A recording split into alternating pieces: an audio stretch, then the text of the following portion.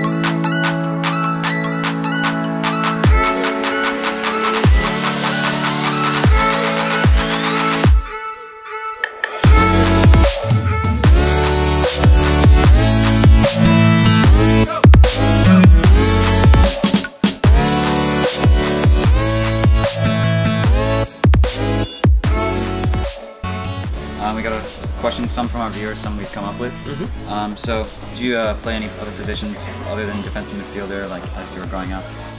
Most of the time I played striker. I came into professional as a striker. Then I played right right back, I played right wing. Then I played uh, number six, number ten. I played a couple of positions in.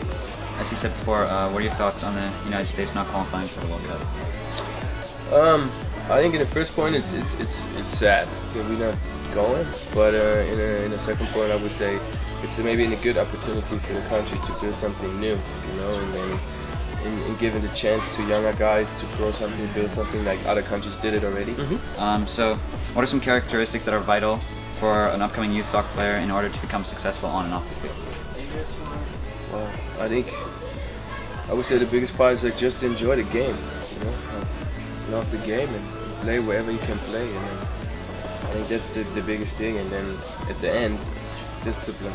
Um, what advice would you give future generations of players of the United States?